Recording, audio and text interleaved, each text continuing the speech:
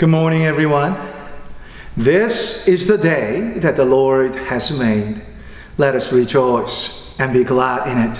My name is Song Yu, pastor here at Sudley. We welcome you all who are worshiping God this morning. A great privilege to get together, even through the online uh, this morning. Shall we start our service with prayer? Our Heavenly Father, we are privileged to enter the Holy of Holies in your heavenly throne by the precious blood of Jesus Christ.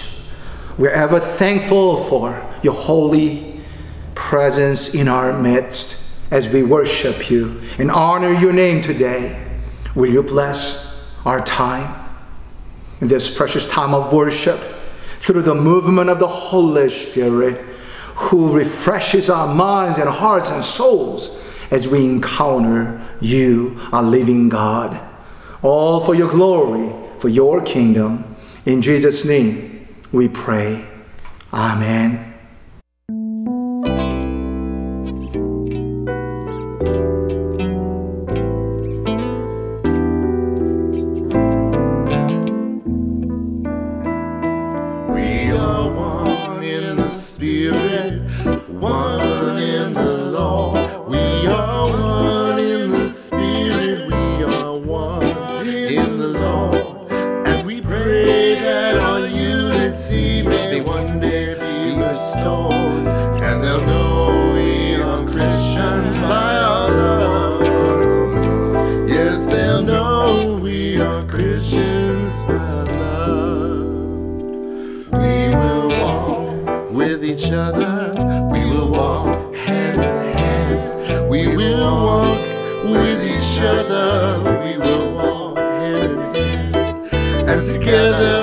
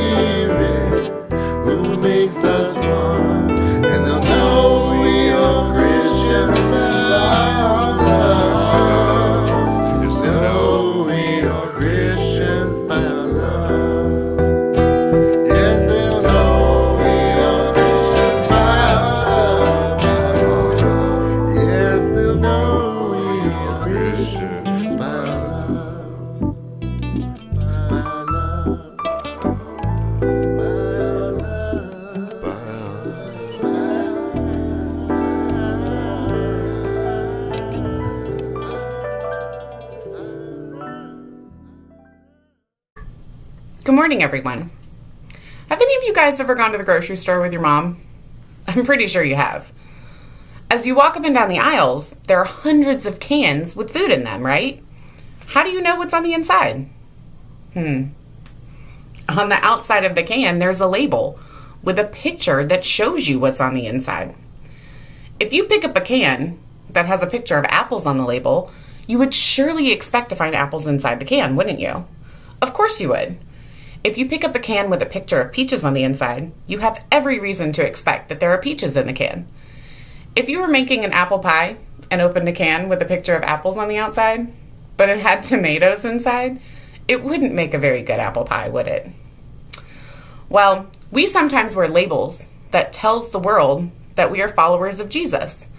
Some people wear a cross around their neck or a t-shirt that says, Jesus, he's the real thing. Some people may have a honk if you love Jesus bumper sticker on their car. When people see us displaying these Christian labels, They have every reason to expect us to be the real thing.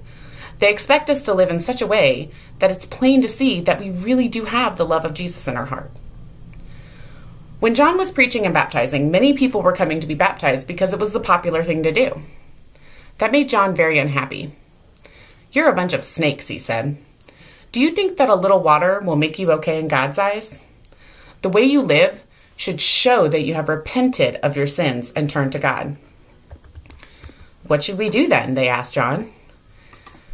If you have two coats, give one to the poor, he answered. If you have food, share it with those who are hungry. Some of these coming to be baptized were tax collectors who were famous for cheating people by collecting more taxes than they owed. To them, John said, if you're a tax collector, collect no more than the government requires. Others in the crowds were soldiers.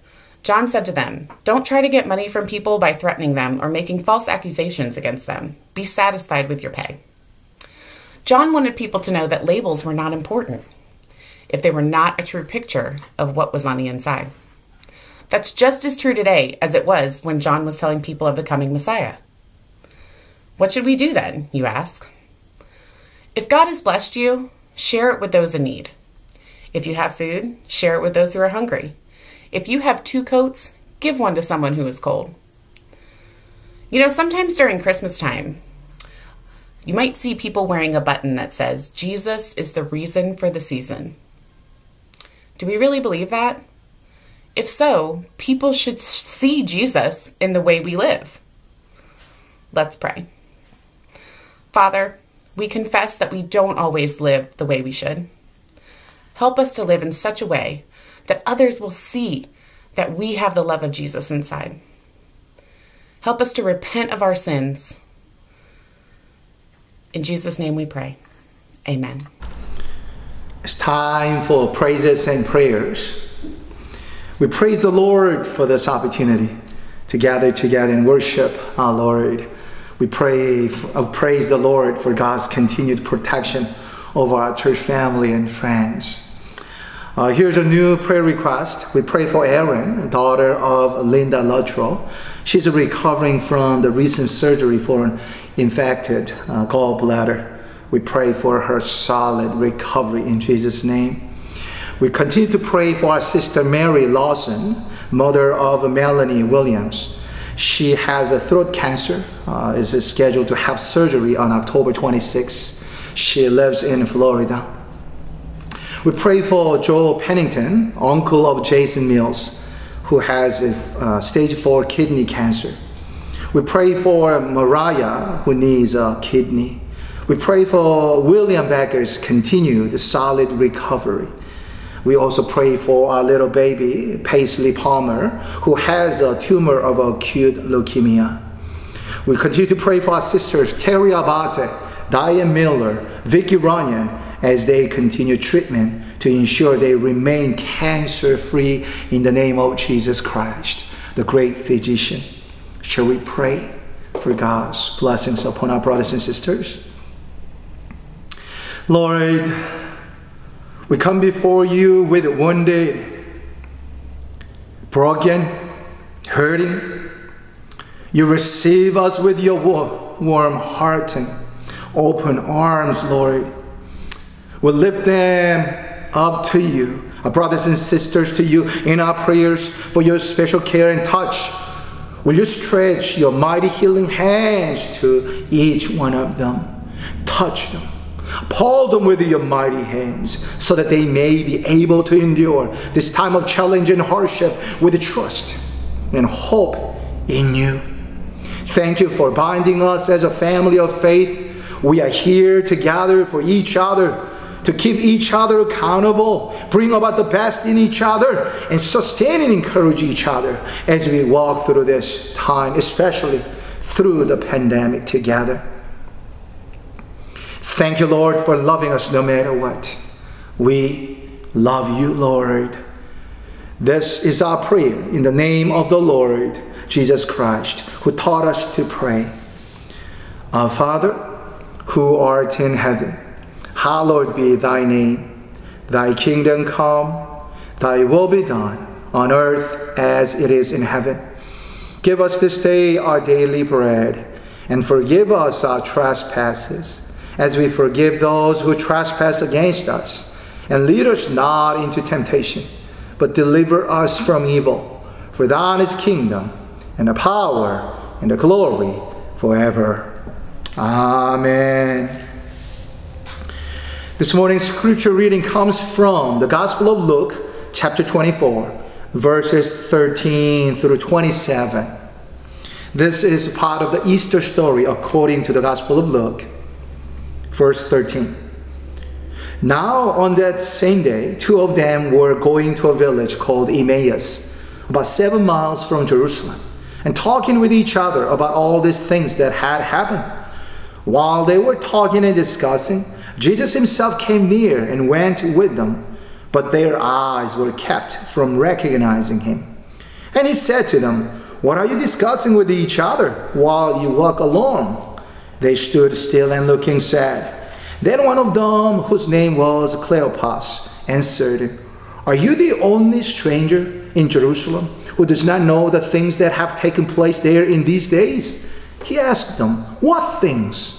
They replied, The things about Jesus of Nazareth who was a prophet, mighty in deed and word before God and all the people, and how our chief priests and leaders handed him over to, the, to be condemned to death and crucified him. But we had hoped that he was the one to redeem Israel.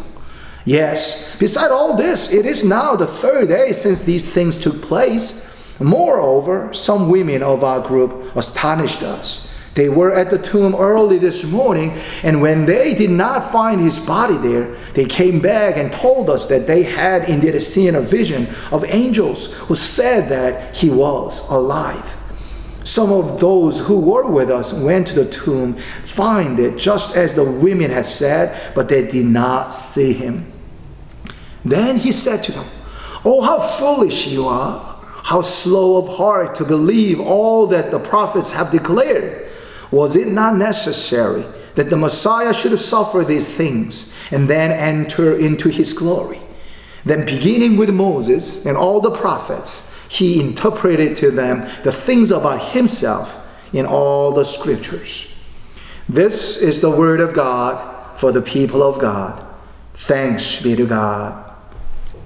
It's time for offering prayer. Uh, many of our church members uh, send their offering through online. Thanks to your generous giving, even self sacrificial giving, uh, we carry on the kingdom movement here at Sudley. Thank you all so much for your generosity. Shall we take a moment to bless our offering before the Lord? Lord, you are the ultimate owner of everything, including our life. You're the ultimate author of world history. We come before you with humility acknowledging your sovereign authority over our lives, our church family, and our nation, and your creation. Will you help us to continue to discern your will, your blueprint for our life, so that we may bring glory and honor to your name and enjoy a profound sense of fulfillment and meaningfulness in our journey? Whatever this offering is used, let your glory be manifest the love of Jesus Christ will be experienced and celebrated in multiple tangible ways. Lord, will you bless your precious sons and daughters who dedicate themselves to you through this offering today? Thank you, Lord, for the gift of our life, the gift of our eternal life through Jesus Christ. We come before you with a holy desire to listen to your word. Will you speak to each one of us? touch our hearts and souls. Lord, allow us to feel your presence in our midst and listen to your voice. Speak to us. In Jesus' name, we pray. Amen. We've been exploring Bible Study 101 over this season. Interpreting the Bible has been increasingly difficult and challenging as we deal with various controversial issues of today's world. How can we present the timeless, absolute truth of the Bible to the ever changing world? That's the task. Unlike old days, when we have a certain standards of biblical interpretation which were taken for granted, now we live in a time when every authority is questioned, whether religious or secular. And normative ways of interpretation of the Bible are relativized and trivialized. It's simply difficult to set a norm or standard of how to interpret the Bible properly in this world. If you believe that the Bible is the Word of God, then you would accept the biblical authority over your life. Meaning that the Bible is the guide for your life journey on earth, especially for your salvation. As written in 2 Timothy 3:15, the sacred writings that are able to instruct you for salvation through faith in Christ Jesus. So this morning we explore how to interpret the Bible properly, prayerfully, under the guidance of the Holy Spirit. When it comes to biblical interpretation, one important thing to keep in mind is to interpret the Bible as a whole book, as a unified, a complete collection of authoritative texts, not just a random collection of separate materials. Which means that when you try to understand the meaning of a biblical passage, you don't simply try to find out its meaning within the immediate context of the book where the passage is located. But you need to unpack its meaning against the backdrop of the whole Bible as a whole book. Mm.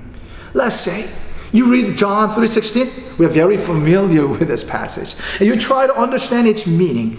While you pay attention to what it says as it is written in the Bible, you need to unpack its meaning within the context of the book of the Gospel of John and within the New Testament and ultimately within the whole Bible.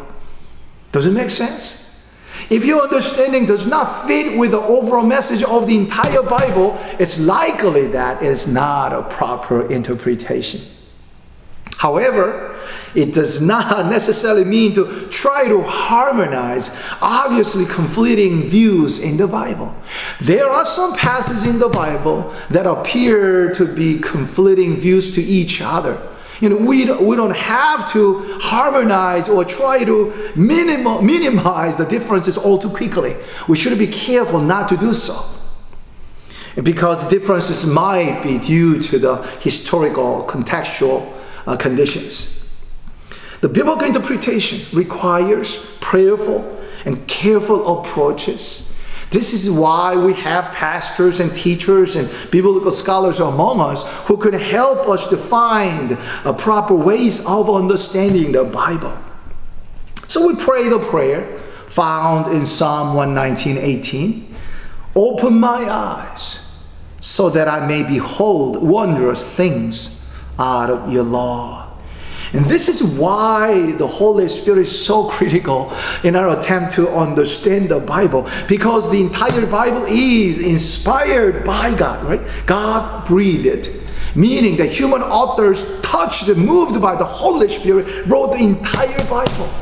So when we try to understand the meaning, penetrate the meaning of the Word of God, we have to rely on the guidance and inspiration of the Holy Spirit who moves in our midst as we pray to the Lord. Mm. We're going to explore this, the role of the Holy Spirit next week. It's very exciting topic to cover next week. What is fascinating to realize about the Bible is that the Bible contains the foundational stories of God's mighty movement in our world history, and it also contains the basic interpretation of what that means to us. Did you hear that? The Bible tells us the stories of how God interacted with God's people, intervened in their lives, and led God's people according to God's purpose. And also at the same time, the Bible provides the very critical interpretative clues and tools for understanding its meaning. Ah. So here comes the importance of the tradition of the church over the centuries, our Christian ancestors, predecessors have developed normative ways of interpreting the Bible, providing helpful guidance on how to understand the Bible for us. One of the uh, practices is to let Scripture interpret itself. Let the Bible interpret itself, which means with the help of the Holy Spirit, we'll try to unpack, understand what the Bible says through the Bible. Uh, let the Bible interpret itself for us. Psalm 119, 130 says, The unfolding of your words gives light, it imparts understanding to the simple.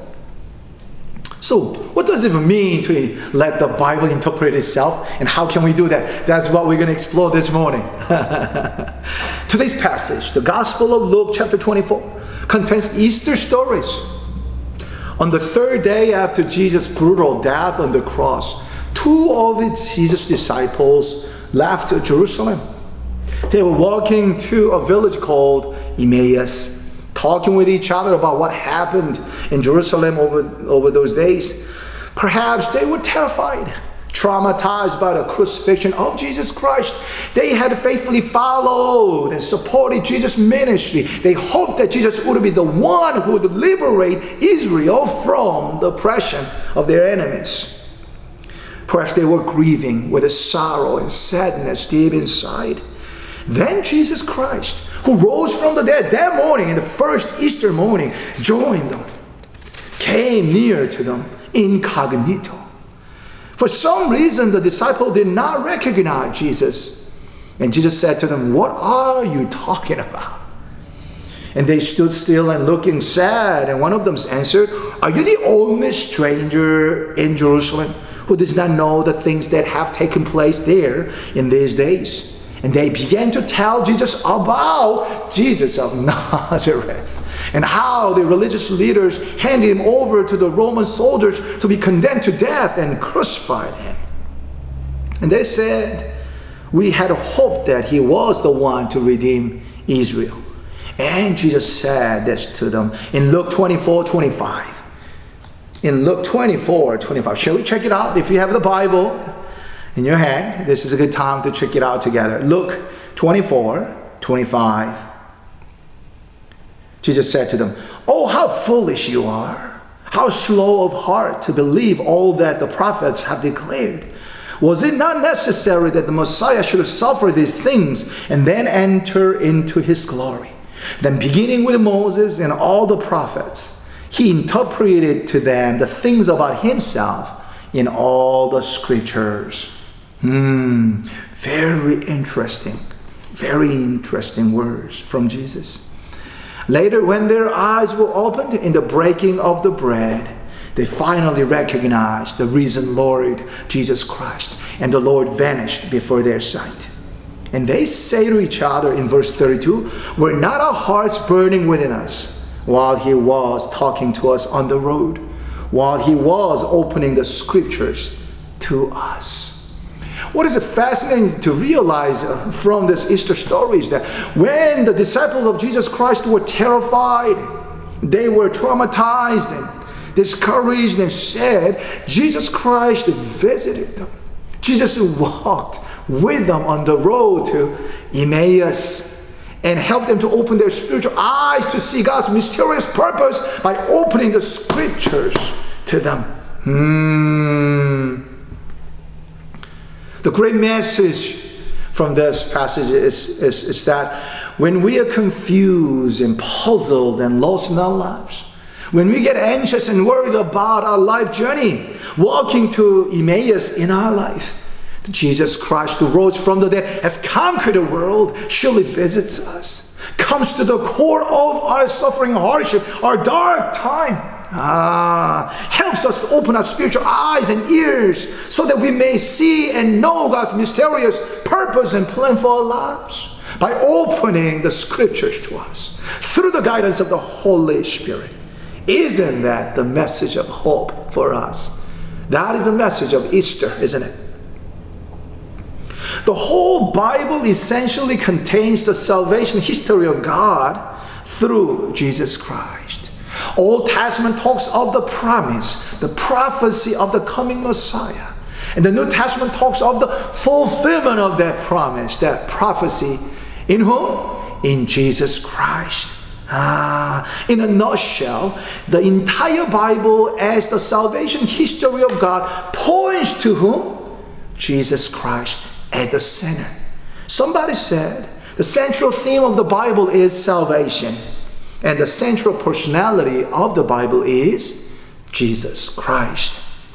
Do you remember a threefold meaning of the Word of God? The first, the written Word of God, which is the Bible. Second, the spoken Word of God, which is preaching, proclamation. Third, the living Word of God with a capital letter W, living Word, Jesus Christ. It means by reading or hearing the written word of God and listening to the spoken word of God, we are led to a holy encounter with the living word, Jesus Christ. What it implies is that the entire Bible is to be interpreted in the light of whom?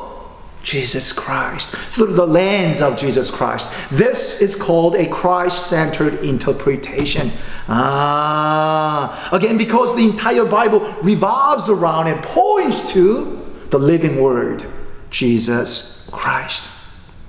On the walk to Emmaus, Jesus himself opened the scriptures to his disciples and interpreted to them the things about himself in all the scriptures, beginning with Moses, meaning the law, the first five books in the Old Testament, also called the Pentateuch or the Torah, beginning with Moses, the law, and all the prophets. Jesus began to interpret to his disciples the things about himself.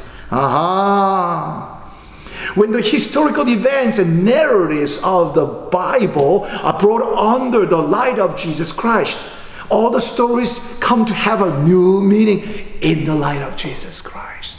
Just like when we encounter Jesus Christ, right, our life comes to have an entire new meaning in the light of Jesus Christ. Even our life events we experience before we encounter Jesus Christ, when those events are brought under the light of Jesus Christ, whoa, those stories come to have a new meaning in the light of Jesus Christ. Ah. Shall we briefly explore how the New Testament makes sense in the light of Old Testament? Especially about Jesus Christ, the central personality of the Bible. And you will see how to let Scripture interpret itself, how to let the Bible interpret itself for us. The Gospel of Matthew begins with the incredible news of the birth of Jesus Christ, who was conceived by the Holy Spirit and born of the Virgin Mary. Matthew 122. Shall we check it out? Matthew, the Gospel of Matthew is the very first book in the New Testament. Matthew 1 22. It's a good time to check it out together. Matthew 1:22 says, "All this took place to fulfill what had been spoken by the Lord through the prophet. Look, the virgin shall conceive and bear a son, and they shall name him Emmanuel, which means God is with us." Ah, the Bible, especially the New Testament, the Gospel of Matthew, testify that the oracle, the prophecy of the prophet Isaiah about the birth of the Messiah was fulfilled through Jesus Christ. Let the scripture interpret itself. When Jesus was born in Bethlehem of Judea, wise men from the east visited Jesus to pay the homage to the King of Jews wise men from the east. Where is the east in this context? Asia. Wise men still come from Asia. Never mind. The birth of Jesus Christ in that particular location was also prophesied by the prophet Micah and was fulfilled according to Bible. Jesus Christ's birth in that place, Bethlehem of Judea, indicate that he is the one that people were talking about. The prophets prophesied. Uh, Micah 5 2 says, But you, O Bethlehem of Ephrathah, who are one of the little clans of Judah, from you shall come forth for me one who is to rule in Israel, whose origin is from of old, from ancient days. Hmm. The Gospels, again and again in the New Testament, testify that the prophecies of the prophets Old Testament are fulfilled through Jesus Christ, indicating that Jesus is the Messiah, the one we anticipated for a long time. Later, when John the Baptist saw Jesus coming toward him, John declared in John 1:29, "Here is the Lamb of God who takes away the sin of the world." John the Baptist called Jesus the Lamb of God. What are we talking about here? Later, the Apostle Paul also called Jesus as a Paschal, meaning Passover lamb, saying in 1 Corinthians 5 7, For our Paschal lamb, Christ, has been sacrificed. Hmm.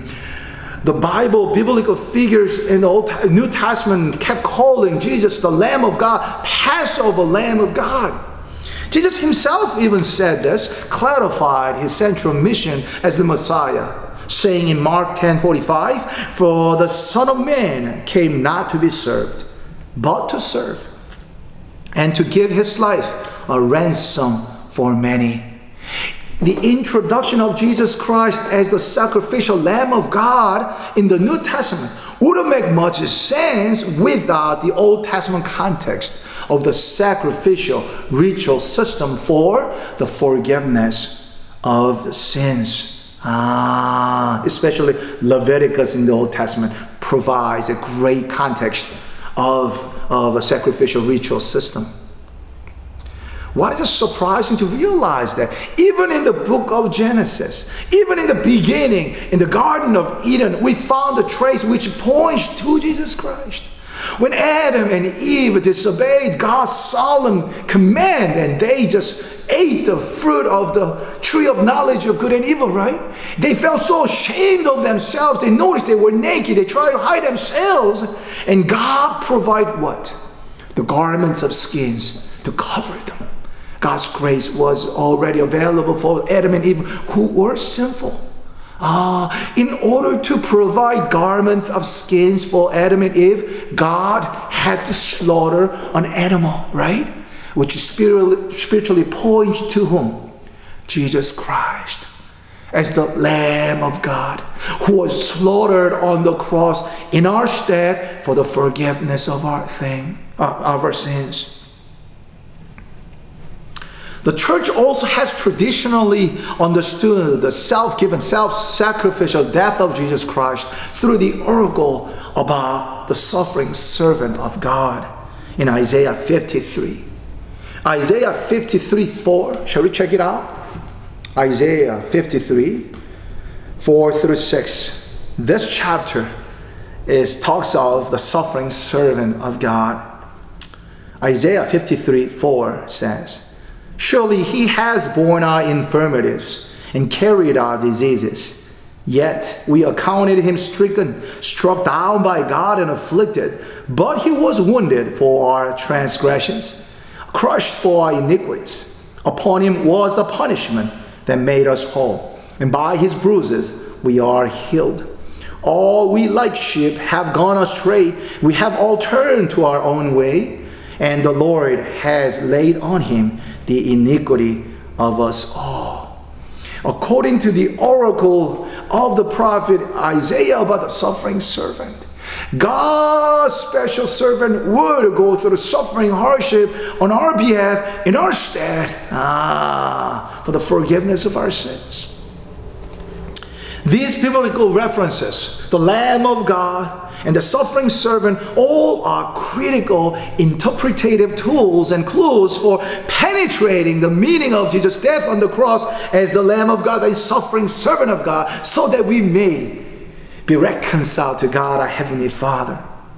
The Bible tells us what happened to Jesus, and at the same time, it provides what it means to us. Ah.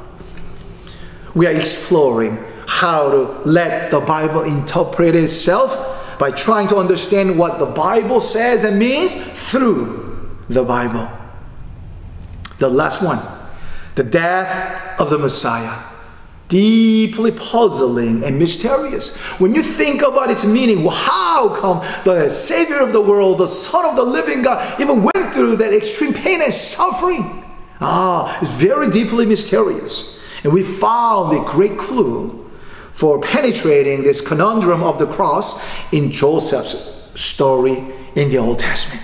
Mm. Who was Joseph? Joseph was one of the 12 sons of Jacob. Jacob, their father, favored Joseph, and Joseph was spoiled from early on.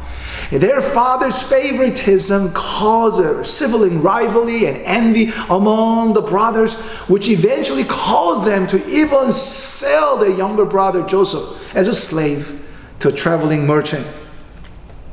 To keep the long story short, later Joseph became powerful in Egypt thanks to his God given talent of interpreting the dreams. So we call the Joseph the dreamer, right? And during that time, there was a severe drought, famine, starvation all over the world. The Joseph's brother had to uh, travel down to Egypt for their survival, to find food. And Joseph finally encountered his brothers who were looking for food, who even sold him as a slave, mistreated his younger brother. And this is what Joseph said to his brothers in Genesis 50 20. Shall we check it out? This is a very powerful passage. Genesis 50 20. Joseph said, Even though you intended to do harm to me, God intended it for good in order to preserve a numerous people as he is doing today. Did you hear that? Joseph forgave his brothers. God even used the evil intentions of Joseph's brothers for the sake of saving God's people in the midst of severe drought and famine. God works in a mysterious way indeed. What's much more, God even made good out of the worst evil at Calvary. Ah, if we apply this interpretative clue found in the Genesis to Jesus' story, this is the message. Even though humans intended to do harm to Jesus, God intended it for good in order to preserve a numerous people. God, our Father, Heavenly Father, God Almighty, even used the evil intention of humans. The curious coalition between the religious authority and the Roman Empire against Jesus Christ for the sake of preserving, saving, and rescuing God's people. Deeply mysterious. But our God is able, more than able, make good out of our suffering, hardship, even tragedy. Praise the Lord. I'm suddenly fired up. Powerful message, isn't it? Our God is more than able to bring something good out of a darkest hour. The storm we face, the pain we experience. Hang in there, my brothers and sisters. Everything works for good for you who are called by God, who love God Ah, God will bring what God has begun in your life to completion in God's time, in God's way. Hold on to that promise. Stand on the promises of God in the name of Jesus Christ. Mm. The Word of God revolves around and points to the Word, living Word, Jesus Christ. So all the scriptures are to be interpreted in the light of Jesus Christ. As we let the Bible interpret itself under the guidance of the Holy Spirit, I believe that Jesus Christ will join in our journey, our walk to Emmaus, and help us to open our spiritual eyes and ears to see God's mysterious plan and purpose and promises for us by opening all the scriptures to us. Ah, oh, God's people said, Amen. Next week, we will explore another critical component of biblical interpretation the role of the Holy Spirit. Uh, it will be exciting. Coming soon. Don't go anywhere. Shall we take a moment to center ourselves on the presence of God? If you don't mind, please close your eyes. I will lead you into prayer time. Lord, Thank you for allowing us to come back to you and experience your presence in our midst and listen to your voice written in the Bible, spoken through the proclamation, and living in our midst as our Lord and Savior. Allow us to fully receive your grace and mercy and experience profound sense of peace and tranquility under your presence and protection. Especially, Lord, thank you for giving us and reminding us of the hope, the message of hope that Jesus Christ, who rose from the dead, broke off the chains of sin and death for us, and has conquered the world, is with us, especially as we walk to our Emmaus in this world. Whenever we find ourselves anxious, worried, even depressed and lost and confused and perplexed, the Lord, help us to remember that you are with us. Allow us to experience your powerful presence in our midst. Lean on your everlasting arms. Stand on your promises, Lord, clearly written in the Bible, the Word of God for us. Thank you, Lord, for your words, your message for us. Thank you for the gospel for us and for our salvation. In Jesus' name, we pray. Amen. Thank you so much for being with us this morning. I hope that you will stay healthy and safe this week under the protection of the Lord. Hope that you will be back next week as we continue on this journey on Bible Study 101. Go now in peace to love and serve the Lord. Let the Bible interpret itself to you under the guidance of the Holy Spirit so that you may have a deeper understanding of the Word of God and stand on the promises of God. The amazing grace of the Lord Jesus Christ, the steadfast love of God the Father, the joyful salvation and fellowship of the Holy Spirit be with you all. Amen.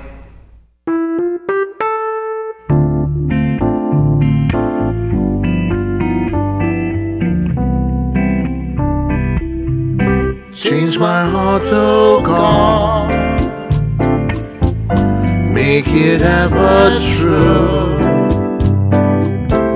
Change my heart, oh God. May I be like you. Change my heart, oh God. Make it ever true. Change my heart, oh God. May I be like you. You are the potter, I am the clay. Mold me and make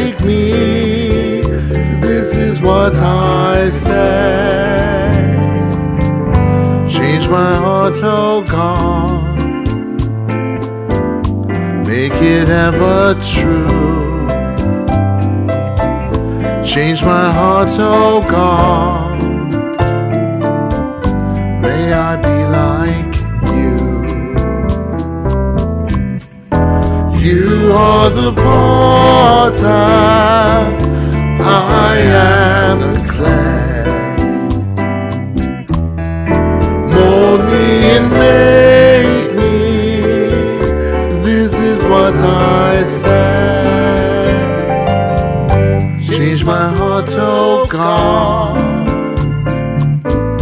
make it ever true. Change my heart, oh